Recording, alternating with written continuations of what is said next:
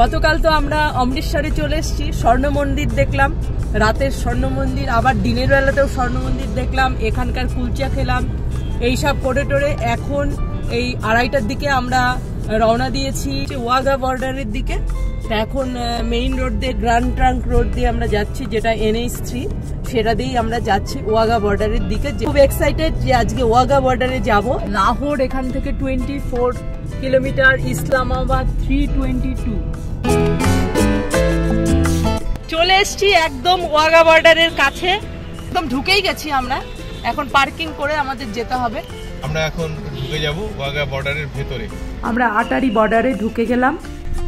আমরা security gate দিয়ে ভেতরের দিকে ঢুকছি ওয়াগা বর্ডারের। আমরা বিকেলের পাঁচটার যে শোটা হয় সেটা আমরা দেখব। এখানে একটা এন্ট্রি হচ্ছে আমাদের সমস্ত ডিটেলস ওয়াগা বর্ডারে আমরা চলে এসেছি। এখানকার বিশাল পার্কিংয়ে এই যে গাড়ি ঢোকালাম। গাড়ি রেখে আমরা এখন এগিয়ে যাচ্ছি সামনের দিকে। India Pakistan border so security check ইনের মধ্যে দিয়েই এখানে ঢুকতে হবে। BSF India's first line of defence চলে এসেছি এই যে ওয়াগা বর্ডারের সামনে যেটা হচ্ছে আমাদের আটারি বর্ডার। আমি কিন্তু সেখানেই চলে এসেছি। এই যে জাস্ট আমার। এখন আমরা গিয়ে বসবো। প্রচণ্ড ভিড়। এখনও বাজে হচ্ছে চারটা বাজে। আর একটু পরে শুরু হয়ে যাবে। মানে লোক সমানে ঢুকছেই ঢুকছে। এখন আমিও ঢুকবো। চলুন। এখানে প্যাট্রিয়টিক সং বাজছে।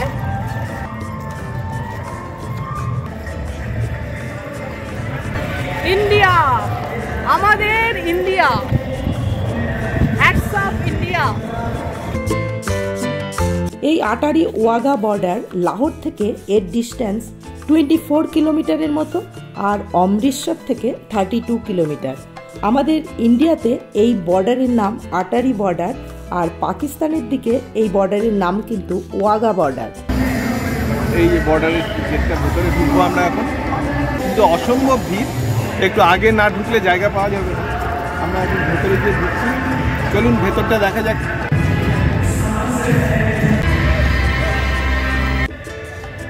দেখুন এখানকার বিশাল গ্যালারি।